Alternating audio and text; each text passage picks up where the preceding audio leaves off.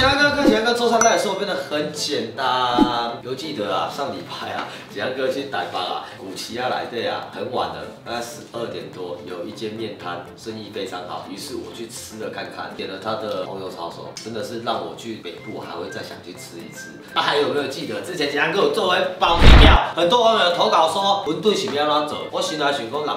当然，就一样的东西，那没关系，因为炒手这种东西，我觉得在很多的餐馆或小吃店里面，他们都想要把它当成招牌。那我们今天用最简单的方式、最方便的食材来教你们做出超好吃的自制红油炒手。那节目开拍之前，请到 YouTube 赞订阅加分享，跟是看小铃铛，脸书群简单哥记得去按赞，自动抢先看。IG 搜寻简单哥，脸书群简单哥大家庭，还有点入网址加入简单哥小家庭，里面有任何的第一手资讯。给我截图。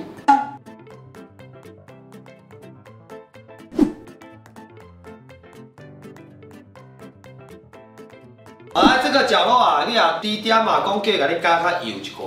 然后我们现在先做一个出筋的动作。啊，记得这尽量台边的状态去做，安尼较卫生、较干净。那我们现在先做个出筋，来，我们加盐巴，我给它料料。出筋的动作的毛细孔这个间隔变大啊。等一下我们要加我们的调味料啊，哦，它比较吃得进去，然后给它有一点粘性。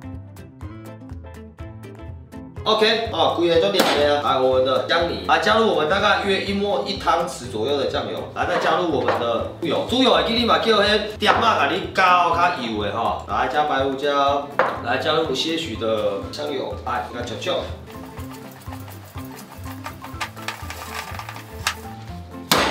粘性那个出来，加我们的蛋，哦，我们今天的比例啊，我们兑大概半颗就好了，加一点葱进去。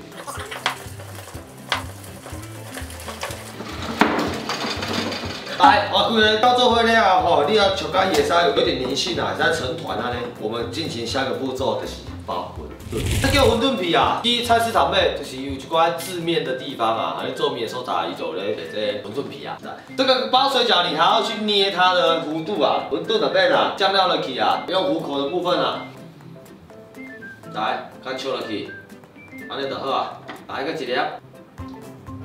来，一样虎口的地方压一下，大力好凉的。你可以其实全部都把它包完，然后放冰箱。好，咱拍摄的关系啊，我们就是先做给你们看哦。屏幕下我们再自己包。好，来，今麦咱开火哈，可以滚起来。咱先来撒咱的馄饨。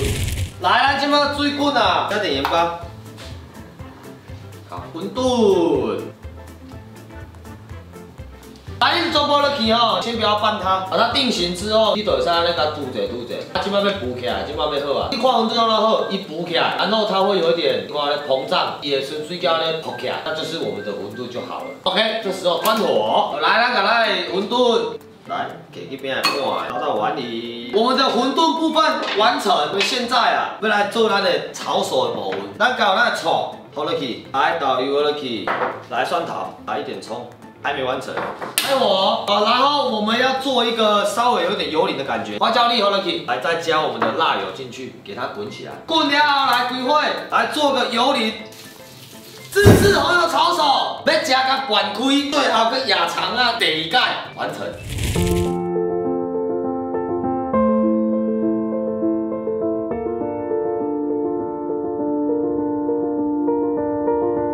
简单的美味试吃时间，咱那个翻起来啊，哇，关关的呀，我们直接来了，来馄饨。有些人他们做会把刚刚的那一些辣油、蒜头、葱啊，因为先就去炒好烹起来，最后再它搅起。那我们今天是用比较简易的方式，这就是我喜欢吃炒手的原因，大油的香，还有加上个炒超级馄饨的感觉。